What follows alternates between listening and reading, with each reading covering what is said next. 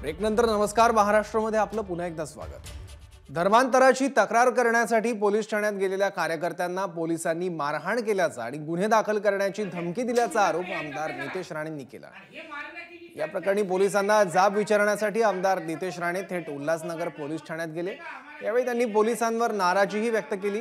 उल्हासनगरमध्ये तरुणाने दुसऱ्या धर्माच्या मुलीशी लग्न केल्यानं धर्मांतराचा वाद निर्माण झाला आहे काय म्हणजे आम्ही काय गप्प बसणार नाही सरकारमध्ये आहे आम्ही आता आम्ही पण बघतो कोणाचं काय करायचं मग. तुम्ही आता ह्यावर काय कारवाई करणार मला सांगा. ते सगळ्या विषयाची घेतो सर आम्हाला इथून संदेश पाहिजे या तर इथून येणार इथून हलवा. नाहीतर काय तर नाहीतर आम्ही विधिमंडळात पण आहे. मी आता उद्या या लोकांना घेऊन जाऊन फडणवीस साहेबांना जाऊन भेटवणार मुलींना गायब करणं मुलींना बाहेर जाऊन विकणं मुलींना एका भागामध्ये ठेवणं आणि परत ये तो मुलगा परत इथे येणं मग इस्त्री किंवा वेगवेगळे व्यवसाय करणं आणि परत एकदा मुलींना फसवणं असे राजरोज पद्धतीने कल्याण उल्हासनगरमध्ये सुरू आहे. पोलिसांना सांगेन की तुम्हाला सिंगम बनायचं असेल तर त्या मुलांना पकडा ना. हे धर्मांतर विषय थांबवा.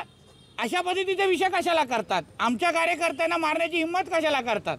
म्हणून संबंधित अधिकाऱ्याचं योग्य जागी तक्रार होणार आणि त्या बाबतीमध्ये पाठपुरावा करून परत अशा घटना आमच्या कार्यकर्त्यांवर घडता कामा नये यासाठी जी जी खबरदारी घ्यायची ती सगळी घेणार. एबीपी माझा. उघडा डोळे बघा नीट.